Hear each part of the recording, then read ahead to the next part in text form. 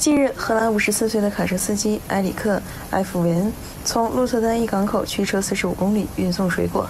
不过，在运送途中发生了让人不可思议的事情：卡车装载的24吨芒果变成了芒果汁，果汁从车厢后面涌出，流在人行道上，场面异常壮观。目前，他怀疑是因车厢内50摄氏度的高温导致了芒果的融化。埃里克表示，从港口到水果经销商这里实际上只有45公里的车程。埃里克表示，他们打开门时。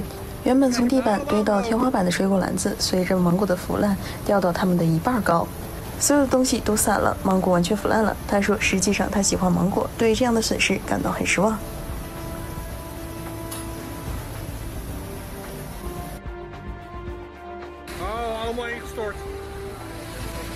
Oh,